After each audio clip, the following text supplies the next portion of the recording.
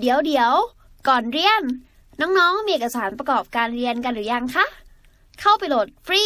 ได้ที่แอป Nestle School ทั้งใน iOS และ Android เลย 103 นะครับ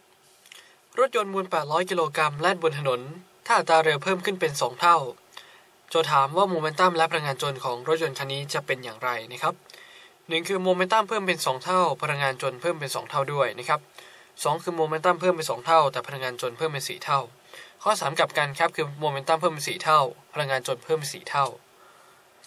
ข้อที่สี่ครับโมเมนตัมคงเดิมพลังงานจลน์เพิ่มเป็น 2 เท่าเนาะตอบข้อไหนเอ่ยนะครับ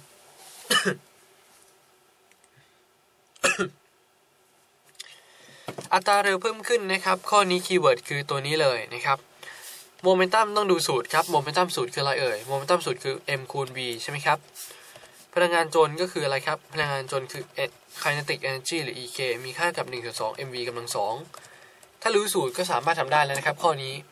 อัตราเร็วเพิ่มขึ้นเป็น 2 เท่าคือ v ตรงนี้นะครับ เพิ่มขึ้นเป็น2เท่าก็กลายเป็น 2 เท่าใช่ไหมก็แปลว่าโมเมนตัมต้องเพิ่มขึ้นเป็น 2 เท่านะครับ พลังงานจนเพิ่มขึ้นเป็นกำลังสองก็คือเพิ่มขึ้นเป็น 4 เท่านั่นเองต่อข้อที่ 2 เลยนะครับ ค่รู้สูตรก็ทำได้แล้วนะครับ ข้อนี้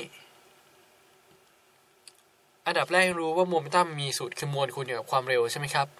พลังงานจนหรือ EK มีค่าเท่ากับ1 2คูณอยู่กับมวลคูณปริมาตร เอ้ยคูณอยู่กับความเร็วกำลังสองนะครับ ขออภัยนะ คูณอยู่กับความเร็วกำลังสองถูกไหมครับ ความเร็วเพิ่มขึ้นเป็นสองเท่า โมเมนตัมก็เพิ่มขึ้นสองเท่า ความเร็วเพิ่มขึ้นเป็นสองเท่า ความเอ่อพลังงานจนก็เพิ่มขึ้นเป็นสี่เท่าถูกไหมครับ ตอบข้อที่สองแบบนี้เลยนะ